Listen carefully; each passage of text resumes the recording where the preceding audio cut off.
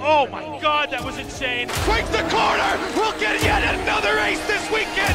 Our inaugural VCT Pacific champions. Hello, VCT fans. I'm extremely excited to introduce Valorant Champions Tour Pacific 2024.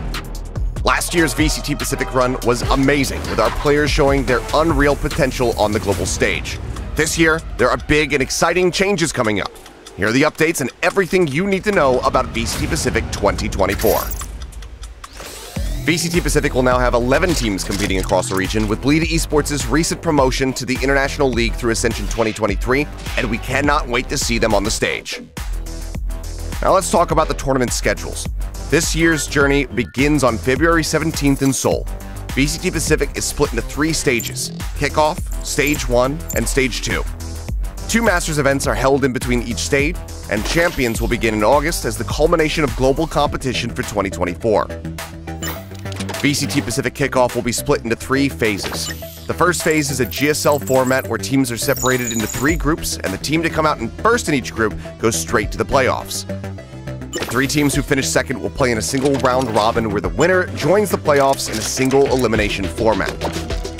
After the intense battle during VCT Pacific kickoff, the top two teams will advance to Valorant Masters Madrid. Now let's look at VCT Pacific Stage 1.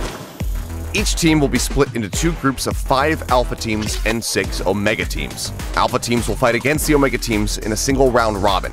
The top three teams who emerge from each group advance to the playoffs and will play in a double elimination bracket. Here, the top three teams will be punching their ticket to Valorant Masters Shanghai. VCT Pacific Stage 2 has the same format as Stage 1, but this time the Alpha teams will compete against each other in their own group. Same goes for the Omega teams. The top six teams with the best performance over the course of Stage 1 and Stage 2 will make it through to the VCT Pacific Stage 2 playoffs. The top three teams in playoffs and the one team with the highest championship points will earn their ticket to Valorant Champions. Championship points are a fresh addition to the VCT ecosystem in 2024. Teams will earn championship points to qualify for Valorant Champions at the end of the year. Teams earn one point whenever they win a match during Stage 1 and Stage 2. They earn three points if they win kickoff for Stage 1. Teams will also earn three points whenever they win a Masters event. The goal, ultimately, is to reward teams who have been the most consistent throughout the year. Only the best of the best will come out on top.